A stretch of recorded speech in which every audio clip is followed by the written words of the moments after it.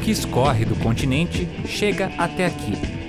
Local de foz de rios, transição entre os biomas terrestre e marinho. E lama. Muita lama. Mas daqui surgem riquezas que vão além da poesia de Chico Sainz.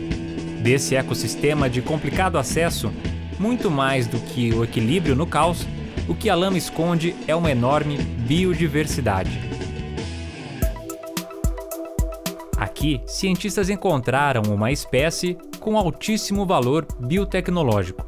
Invisíveis ao olho nu, uma gota dessa lama guarda milhares de organismos, muitos deles completamente desconhecidos pela ciência.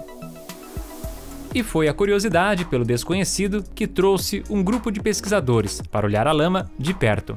Em particular, os micro-organismos do ecossistema manguezal, especificamente do solo do mangue, são muito pouco estudados. Existem poucos estudos relatando a importância desse ecossistema. Daí surgiu o interesse de abordarmos a biodiversidade das bactérias presentes no solo do manguezal aqui da Baía de Guaratuba.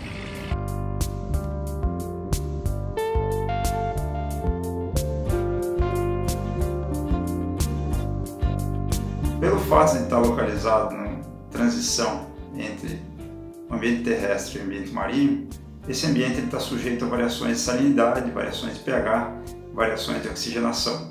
Então, as espécies que habitam esse ambiente muitas vezes têm características únicas que não são encontradas em outros ecossistemas. Os pesquisadores da Universidade Federal do Paraná estavam interessados em um tipo específico de bactéria chamada de Streptomyces. Esses microorganismos são capazes de degradar a celulose, um processo de alto valor para a indústria, como por exemplo na produção de biocombustíveis.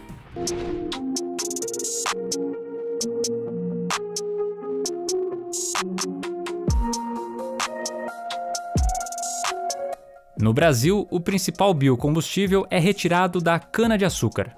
O caldo extraído é fermentado por leveduras e destilado para se chegar ao etanol, no final desse processo, resta boa parte da matéria-prima em forma de bagaço. São estruturas mais rígidas, formadas principalmente por celulose, e por isso não são fáceis de serem fermentadas e virarem álcool, como o caldo da cana. Na verdade, é uma das partes mais caras de todo o processo. É transformar a celulose em açúcar que pode ser fermentado. A nova bactéria descoberta pelos pesquisadores da UFPR poderá tornar este processo mais prático e mais barato. Isso porque produz uma substância capaz de quebrar as estruturas da celulose. Trata-se de uma enzima chamada de celulase. Depois que a enzima funciona, eu tenho um caldo que é rico em glucose que vai ser fermentado aí pela levedura num processo semelhante ao processo que já acontece hoje em dia.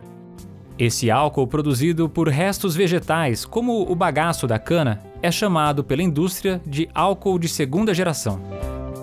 Uma tecnologia que vem se desenvolvendo em busca de formas de energia mais sustentáveis. Se a gente tiver capacidade de usar essa, essa biomassa, nós é, vamos aumentar o rendimento do, de, de combustível, vamos diminuir a emissão de CO2 para a atmosfera e vamos ter um, um sistema mais, mais sustentável, né? Que é, na verdade, o objetivo todo hoje em dia é justamente isso: é tentarmos diminuir o máximo possível a emissão de CO2 para combater o, o, o aquecimento global. Mangue, lama, bactérias, enzimas e biocombustíveis uma cadeia complexa que traz para a ciência o desafio da eficiência e da sustentabilidade. Para isso, o laboratório da UFPR precisou olhar de perto a bactéria descoberta, para entender exatamente todo o seu funcionamento. Quando a gente tem uma bactéria interessante como essa que o Luciano identificou, primeira coisa que a gente faz, vamos sequenciar o genoma, né? Sequenciando o genoma, a gente tem o potencial de, de é, extrair todas as informações do que esse organismo é capaz de fazer.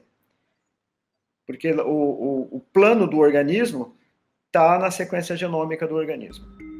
Chamada de Streptomyces S3, a nova bactéria está em análise para se isolar o gene responsável pela produção da celulase. aquela enzima capaz de degradar restos vegetais. É como se os cientistas separassem a estrutura exata da bactéria que produz a enzima. Ao fazer isso, seria possível introduzir essa estrutura em uma outra bactéria, mais fácil de manusear e também de rápido crescimento.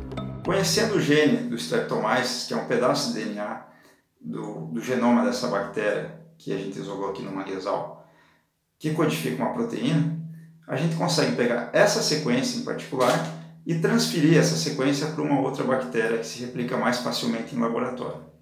Para esses ensaios, geralmente utilizamos Escherichia coli, que é o organismo mais bem estudado na natureza e a sua manipulação genética é muito fácil. Isso vai reduzir os custos de produção, possibilitando então o emprego dessas enzimas numa escala industrial, principalmente com o interesse de produzir etanol de segunda geração.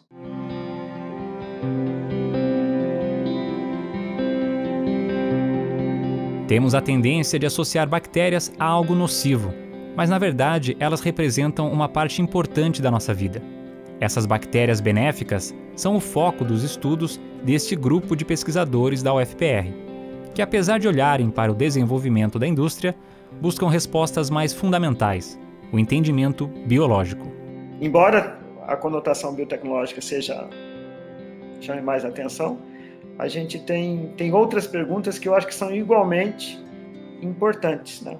É uma bactéria interessante e quando a gente olha uma bactéria dessa, é, a gente quer saber quais são os genes que tem, é, como esses genes funcionam, de onde vieram esses genes, será que essa bactéria é, ela ganhou esse gene do ancestral dela, que ganhou do ancestral do ancestral, ou será que veio de uma é, é, transferência lateral. Ela interagiu com outro organismo ali naquele ambiente e ganhou, de alguma forma, capturou esse gene. O nosso principal interesse é entender a biodiversidade ali da, da, da Baía de Guaratuba, ver que tipo de organismo que, que tem, como é que esses tipos de, como é que esses organismos é, é, participam das transformações é, biogeoquímicas daquele ambiente. Então tem outras perguntas que são perguntas muito importantes, biológicas, que são o nosso interesse assim mais imediato.